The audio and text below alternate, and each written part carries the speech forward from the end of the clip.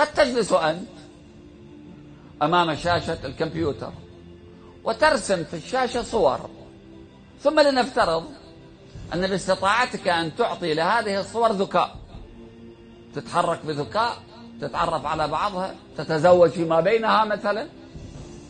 هل يمكن لهذه الصور التي رسمتها في الكمبيوتر أن تعرفك؟ أن تتعرف عليك على عقلك على عواطفك على وجودك؟ ما يمكن. الله خلق الكون في لحظة إرادة. كيف يمكن استيعاب والإحاطة برب العالمين؟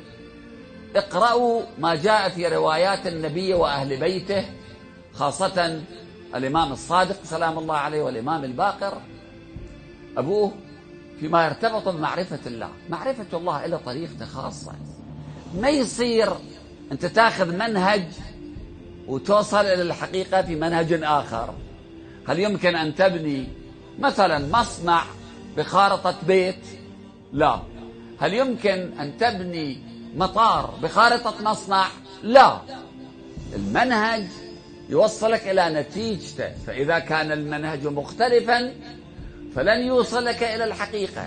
الحقيقة عند الله في القرآن ليس كمثله شيء.